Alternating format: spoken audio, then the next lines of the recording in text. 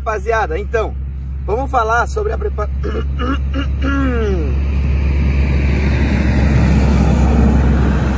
Esse é o problema de gravar na beira da pista.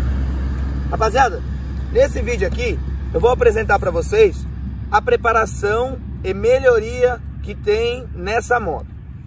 Vou desvendar um mito. 160 trabalha com falta de combustível. Não trabalha com falta de combustível.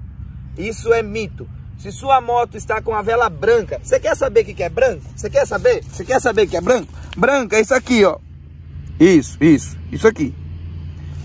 Tem gente olhando a vela da moto e tá falando que a moto tá com falta. A vela tá marrom claro e a pessoa tá falando que tá com falta. João, tem SVC na sua moto? Tem? SVC aí na sua moto? Aquele aparelho para regular a injeção? Não. Não tem. Tem remap? Não, Não. tem. Me, troquei bico? Não troquei. A moto usa a injeção eletrônica original. Calma aí. Eu sei que a moto tá cortando de giro diferente, mas a alimentação da moto tá original. Então eu vim aqui dar minha cara tapa mais uma vez falar para vocês que a 160 ela não trabalha com falta de combustível. Léo, eu desmontei a vela da minha moto e realmente a vela e a válvula tá branca, aqui ó, igual o símbolo da SM aqui ó. Então você faz uma revisão na injeção eletrônica da sua moto, porque ela pode estar com algum defeito na injeção. Uma moto toda revisada, com todos os componentes bons, não dá falta de combustível. Essa moto já passou dos 1.500 km preparada muito cacete, muita benga, muito rachinha. Brincadeira, né? Brincando, não existe racha de 160, né? Mas ela não quebrou por falta de combustível e nem vai quebrar. Porque é assim, a preparação que foi feita nela, outra coisa que muita gente não sabe, é que você pode ganhar potência, torque e velocidade final sem alterar a cilindrada da moto. Essa moto Olha lá, estragou o vídeo.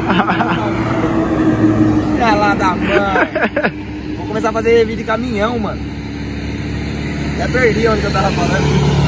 Então essa moto, ela é cilindrada original. Essa moto, ela tem 160 cilindradas, tá? Não foi alterado o pistão e não foi trocado o pistão no virabrequim. O que essa moto teve foi a preparação no cabeçote, toda a nossa melhoria de fluxo que a gente apresenta para vocês em vários vídeos, comando preparado dessa empresa que não tem o que falar, tá? E aumentado a taxa de compressão. O que a gente fez? A gente aumentou a eficiência volumétrica dessa moto. A gente fez com que ela aproveitasse mais as 160 cilindradas dela.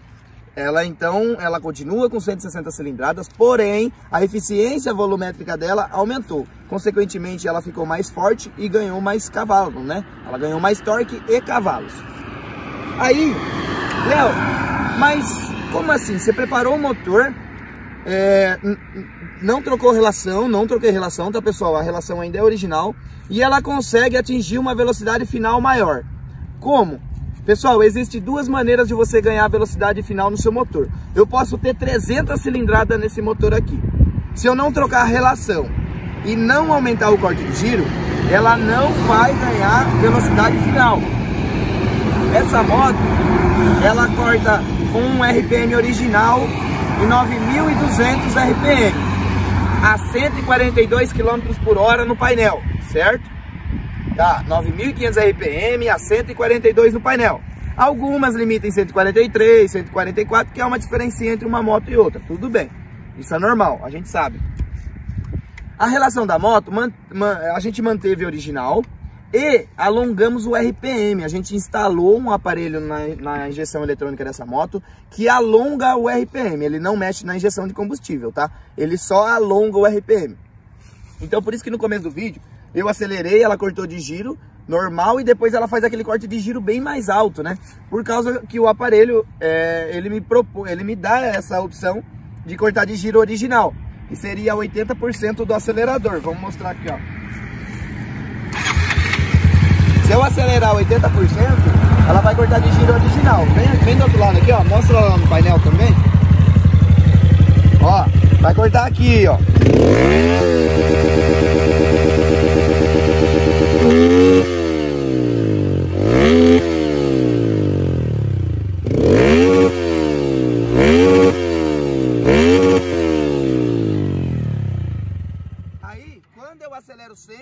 lançamento, ele vem para o corte estendido que eu programei para ela.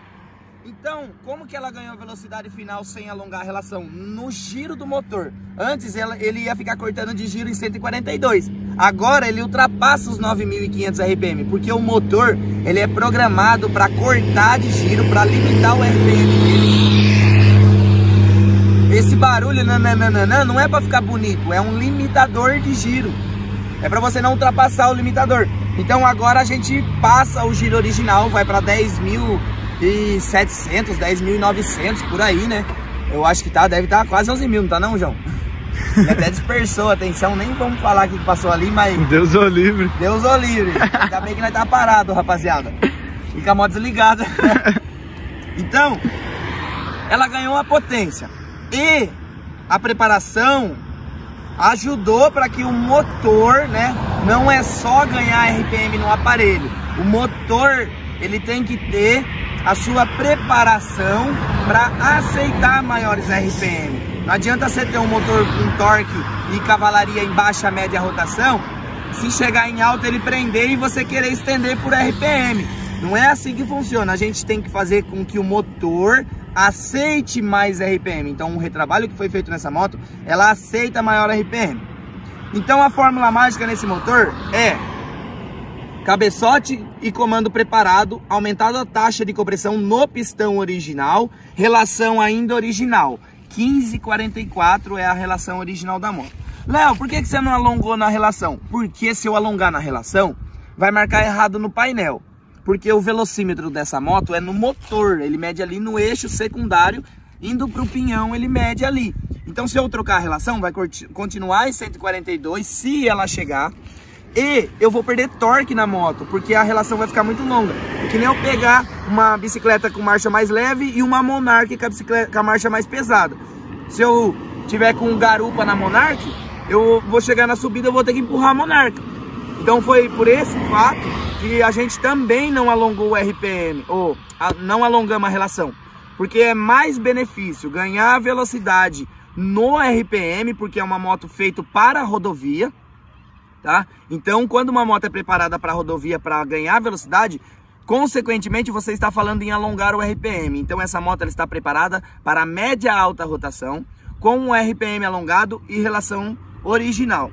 Essa moto não tem mais mistério nenhum. Se alguém duvidar, ah, o Léo colocou aparelho no painel para desregular o painel. Vem cá. Vem cá, desmonta essa manca, tá? Desmonta Aí você vem me falar se eu coloquei aparelho no painel. Ah, o Léo colocou kit 190. Vem aqui, fi. Pode vir. Vem. Desmonta. Eu vou adorar. Eu vou adorar que você vem desmontar a moto e vai ver que tem um pistão original Honda. Vem aqui. Quantos quilômetros a moto tá? Olha, olha que delícia. Só o Léo 0990. 7.792 quilômetros. Mano, é prazer demais de fazer umas motos zero que nem essa, que você está ligado quem, quem, quem faz. Além de fazer uma preparação top, um ótimo de um acabamento, que é o, os, o que os nossos clientes procuram. Um ótimo de um acabamento, é, satisfação no atendimento, que é que eu prezo muito para que todos os clientes saiam satisfeitos. Então, pessoal, peguem esse vídeo, entendam o que eu quero passar. Eu quero passar informação para vocês, eu quero passar conteúdo. Léo, quero preparar minha moto com você. Vou explicar para vocês como funciona. Ou você me manda suas peças para preparar, agora nós estamos fazendo, tá? Você me manda as, as suas peças para fazer a preparação, eu preparo e mando elas de volta para você. Comprar cabeçote preparado, não temos. Por quê? Porque não acha cabeçote para comprar fácil assim, 10, 20, 30 cabeçote. Então você vai ter que mandar o seu cabeçote para preparar. Comando a gente tem. Outro problema, problema sobre a 160 no comando. Sim, é um risco que o, todos rondeiros do 160 tá correndo quando ele coloca o comando de válvulas preparado. É o desgaste do comando, tá? É um problema crônico da moto. De 10, vamos por aí que 3 motos sofrem o desgaste do comando de válvulas da 160. De outras motos nenhuma acontece. CRF e estrada também, que é um problema crônico e até o comando original come, né, a, a CBX 200. E essa moto, ela veio com o mesmo defeito. Uma moto 2020, eu fiz algumas melhorias no cabeçote dela, Mas vai passar por outras melhorias, mano. Porque é, sempre a gente quer mais e ainda mais o João, que é amigo meu, que tá sempre vindo na oficina, tá sempre me ajudando, a gente fica, eu fico beneficiando ele na, na motoca aqui, ó. né? Que, cara, chave. sem palavra, mano. O bagulho ficou top, chave. Quantos minutos de vídeo? 10 minutos. 10 minutos, falei demais. Tá vendo essa pista aqui, ó? Tá vendo? Essa pista. Eu vou sair de lá. Vou colocar a câmera no capacete que tá ali. Eu vou sair de lá e vou acelerar. Aí tem uma decidona. Vocês vão ver que a moto não vai dar 180 por hora. Por causa da decidona. Ela vai dar uma certa velocidade. Vai manter. Depois ela vai pegar uma subida e lá na frente tem uma reta. Então acompanha no resto desse vídeo. Que eu vou acelerar essa moto. Você vai ver como que ela vai andar no pistão original. Se você duvidar, amigão. Traz. Traz a sua. É claro, não adianta você trazer 220 cilindrada querer comparar com essa moto, porque eu falo que pistão original anda. Sim, pistão original anda, anda muito.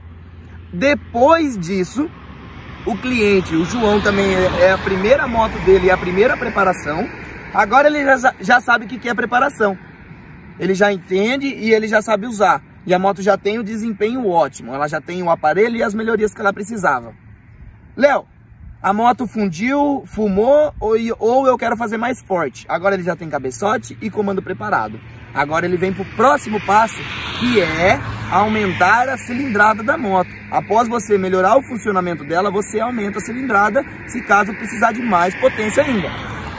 Tem gente que acha que eu falo que pistão maior não anda. Não, não é isso. Pistão original também anda. Tem muita gente aumentando a cilindrada para 190, para 200 e 220, quebrando o motor, jogando dinheiro fora, preparando moto para dia a dia para ir trabalhar de disque moto. Pessoal, quer trabalhar de disque moto, quer trabalhar com a moto, quer viajar, quer acelerar, é pistão original, com cabeçote e comando preparado. Ganha potência, ganha velocidade final, tá? Isso tudo eu garanto para vocês. Se você sair insatisfeito, preparar a moto comigo, com esse cara aqui, ó, e sair insatisfeito, andar na moto e não mostrar os dentes, o cliente ele volta, ele tem que reganhar os dentes para mim. Se ele não mostrar os dentes na hora que ele andar na moto, eu devolvo o dinheiro dele.